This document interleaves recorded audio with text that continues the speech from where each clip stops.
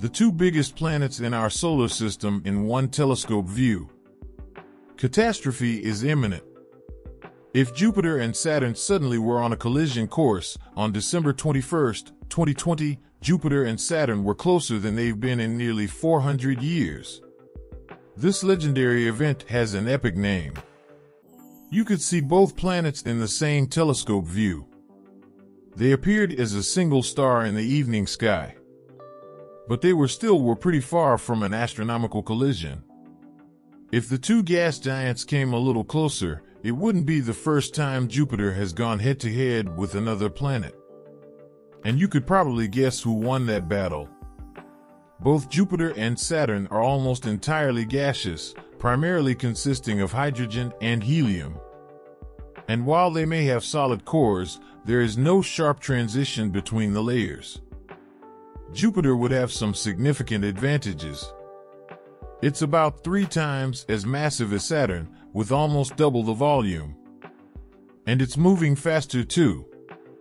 Jupiter's rotation speed reaches 13 kilometers per second, 8.1 miles per second, while Saturn rotates at just below 10 kilometers per second, 6 miles per second.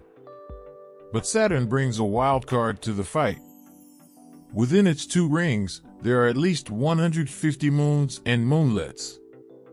If the planets drew closer together, Jupiter's strong gravitational pull would cause these moons, moonlets, rocks, dust, and ice to accelerate toward it. Some of them would be torn apart. That's what happened when the comet Shoemaker-Levy 9 collided with Jupiter in 1994. Originally, the comet was nearly 2 kilometers, 1.2 miles wide. But by the time it crashed, Jupiter's gravity had torn it to pieces. Those fragments smashed into Jupiter with the force of 300 million atomic bombs. And that heated Jupiter's atmospheric temperature to nearly 40,000 degrees Celsius 72,000 degrees Fahrenheit.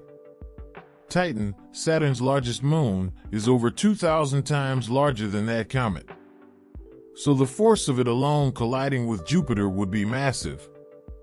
If Jupiter and Saturn collided, they would begin to merge their atmospheres would mix. That would raise the temperatures in the top layers of the gas giant's atmospheres. It would get so hot that Jupiter would experience a chemical reaction, gaining more iron, silicates, and even water. Eventually, Jupiter would absorb Saturn. Or most of it. Scientists at Sun Yat-sen University in China modeled a scenario about what happened when a massive planetary embryo, about 10 times the size of Earth, collided with Jupiter 4.5 billion years ago. The impact was so energetic that it destroyed Jupiter's original compact core. This formed a more diluted core composed of a dense mix of liquid metallic hydrogen and helium. But if Jupiter collided with Saturn, that event would be 10 times more massive. Large amounts of material would spread out in space. And then, all that material would come together into a single planetary object. We'd call it New Jupiter or Jupiternus. And maybe that new planet would cause more trouble in the solar system than you might expect. Jupiter is sometimes referred to as a failed star. That's because its size and composition are similar to a brown dwarf. But Jupiternus would be more massive and have higher internal pressure. If the temperature was high enough, this could cause nuclear fusion in its core. Jupiternus could become a star. And the impact of having two stars in our planetary neighborhood would be huge. It could even mean the end of life on Earth. Now, don't worry.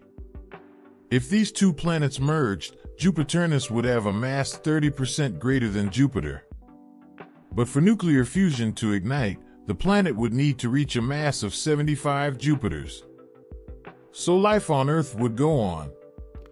But this would be a spectacular show with tons of gas and debris expelled. Maybe it would all be illuminated by the sun, giving us a beautiful, glittering end to Saturn as we know it.